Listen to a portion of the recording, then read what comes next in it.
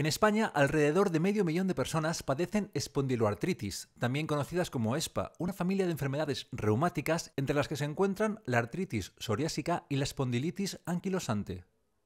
Estas enfermedades inmunomediadas, crónicas e inflamatorias cursan por brotes y los síntomas principales son la inflamación de las articulaciones que causa dolor y rigidez, lesiones en la piel y en los casos más graves destrucción ósea que provoca pérdida de movilidad e incluso incapacitación. Son enfermedades que al inflamar la columna, las sacroiliacas, que son articulaciones que no se ven, pues son enfermedades que la gente conoce poco y se expresan en forma de dolor de espalda, dolor nocturno, dolor que le despierta al paciente por la noche.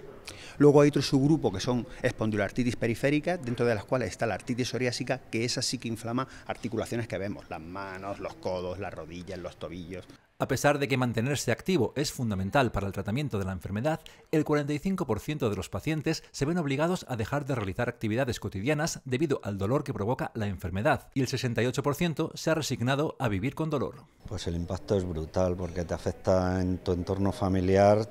pues vas a tener que adaptar la vida de los demás a tu enfermedad aún existen importantes retos en el abordaje de la espondiloartritis, como agilizar el proceso diagnóstico y conseguir el control de los síntomas que produce la enfermedad. La buena noticia es que a partir de abril los pacientes contarán con una nueva opción terapéutica cuyo objetivo es reducir la actividad de la enfermedad para que el paciente pueda disfrutar de una buena calidad de vida la llegada de fármacos nuevos vienen a ampliar ese arsenal terapéutico y vienen pues eh, a mejorar eh, la calidad de vida del paciente y a mejorar pues la carga inflamatoria, eh, reducir la discapacidad funcional, es decir, una baja actividad de la enfermedad va a hacer que el paciente progrese menos